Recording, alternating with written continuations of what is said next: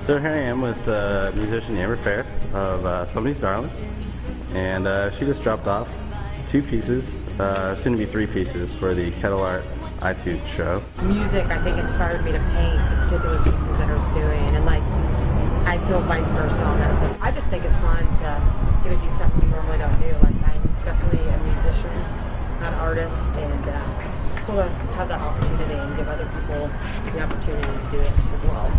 Because I like doing art too. Yeah. I'm not saying I'm good at it, but I like to do it. Right, we got Dottie, it's my little Dalmatian.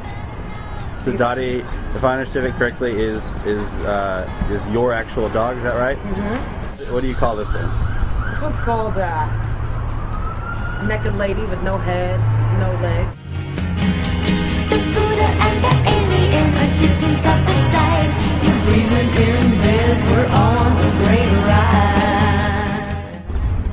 Okay, so here we are with uh, Kettle Art owner uh, and founder Frank Campagna. Um, Frank, uh, how did how did you come up with the the concept of uh, Eye Tunes? It just made sense. I think uh, there's a very fine line between music and visual art. You'll find an awful lot of artists and or musicians do one or the other. Uh, real easy thing to flip flop, flop back and forth on. Um, was a kid, when I was 16 years old, I wanted to, wasn't sure if I wanted to be a musician or an artist. And what are you looking forward to the most about the show? Um, having a celebrity-filled room, both in the artist and in the musicians. Awesome.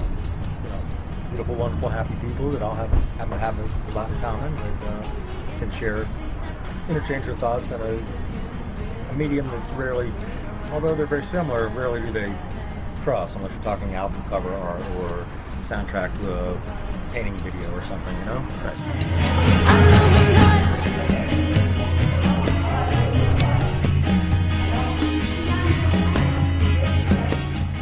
How are you connected to the music and/or art scene in Dallas? Well, I'm connected with the music scene through bandmates. Okay. The band I play in, local band with Kimberly, Castellan lead singer. Her paintings are going to be in the show too. Awesome. Pretty cool.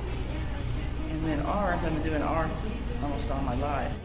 And and why do you think it's it's important to uh, bring both of these communities together here in Dallas? One thing I noticed is even being able to come back and be them again. I also like a little rebirth because I'm back to the old school, you know, Dada, hopefully like back in the heyday where it was really felt good and vibrant. So it just has that something getting that feeling again.